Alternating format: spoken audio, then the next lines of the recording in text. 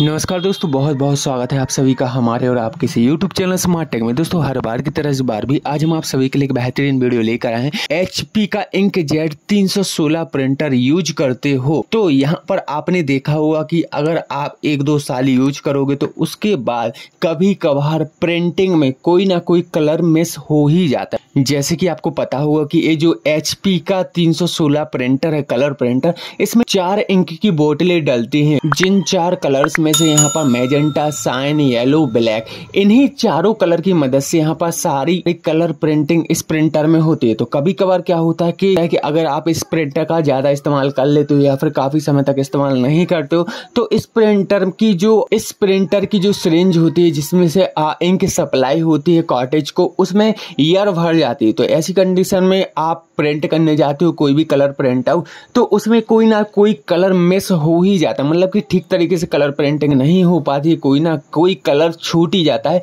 तो आपको यहाँ पर प्रॉब्लम होने लगती है प्रिंट आउट लेने में। तो यहाँ पर आपको प्रॉब्लम होने लगती है कलर प्रिंट आउट लेने में। अब ऐसे में क्या किया जाए? आपके पास क्या ऑप्शंस बचते हैं?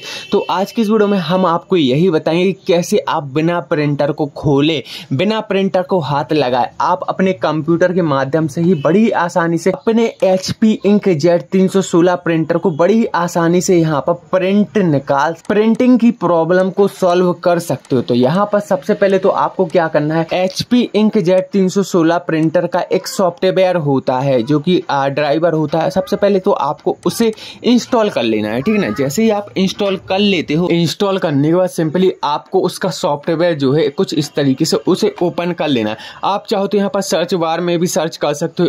H P ink Z tank यहाँ पर इतना ही सर्च करोगे तो आ जाएगा सॉफ्टवेयर कुछ इस तरीके से, उसे आप ओपन कर लीजिएगा। इसके बाद आपको यहाँ पर मेंटेनेंस योर प्रिंटिंग पर आ जाना है। मेंटेनेंस योर प्रिंटिंग पर सिंपली आपको क्लिक कर देना है। जैसे ही क्लिक करोगे तो कुछ इस तरीके के आपको ऑप्शन देखने को मिलेंगे। पहला तो रहेगा प्रिंट क्वालिटी तो यहाँ पर आप टेस्ट पेज निकाल सकते हो कुछ इस तरीके से। यहाँ पर देख सकते हो कौन सा कलर आपका मिस हो रहा है। यहाँ पर देखिए, अगर आपका सियान कलर मिस हो रहा है तो यहाँ पर आपका ये सियान कलर खाली खाली आ जाएगा। अगर आपका मैजेंटा मिस हो रहा तो मैजेंटा खाली आ जाएगा।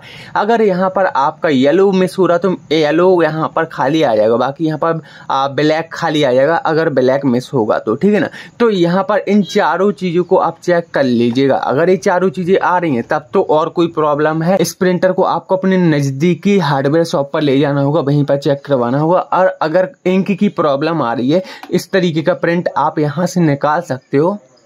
यहाँ से निकाल सकते हो अगर इस तरीके की प्रिंटिंग आ रही है तो आप यहाँ पर क्या कीजिएगा? देखिए थर्ड नंबर पर क्लीन कार्टेज लिखा हुआ है। सिंपली इस पर क्लिक कर देना है तो एक बफरिंग वगैरह चलेगी और दो तीन प्रिंट आउट निकलेंगे आपके।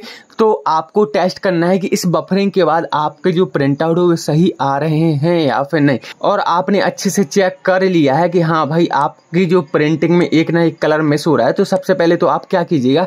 अपने प्रिंटर के इंक टैंक में चेक कीजिएगा कि कहीं इंक खत्म तो नहीं होगी कम से कम 20 परसेंट इंक से ऊपर होनी चाहिए आपके प्रिंटर में, ठीक है ना? अगर 20 परसेंट इंक से कम है इंक आपके प्रिंटर में तो आपको इंक रिफिल करनी ही होगी। आधा टैंक भरा है स्याही से तो यहाँ पर आपको सिंपली बार बार यही प्रोसीजर बार बार कम से कम 20 से 25 बार इस प्रोसीजर को करना है, तब जाकर आपकी प्रिंटिंग सही आ जाएगी।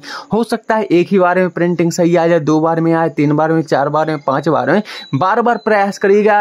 दूसरे नंबर का जो ऑप्शन दिख रहा है, अगर कुछ इस तरीके से ए आइकन बना है ना ए का, अगर आपका जो कलर है एक के ऊपर एक आ रहा है मिसमैच हो रहा है, इस टूल का इस्तेमाल करना होगा और अगर आप क्लीन प्रिंटर करना चाहते हो, कई बार क्या होता है कि प्रिंटर के अंदर गंदगी आ जाती है, निकला ही नहीं निकलती या फिर पेज वगैरह यहाँ पर जाम हो जाता है प्रिंटर के अंदर पेज के टुकड़े फंस जाते हैं तो उस कंडीशन में आप इस क्लीन प्रिंटर के पेज ऑप्शंस का इस्तेमाल कर सकते हो। तो उम्मीद करता हूँ दोस्तों, अपने ड्राइवर के माध्यम से रिपेयर करने का प्रोसीजर समझ आ चुका होगा। अगर वीडियो पसंद आए तो वीडियो को लाइक कमेंट करना ना भूले, साथ ही साथ दिएगा इंस्टाग्राम आईडी को भी फॉलो करें। तो चलिए दोस्तों, आज की वीडियो में इतना ही, मिलते हैं नेक्स्ट वीडियो में।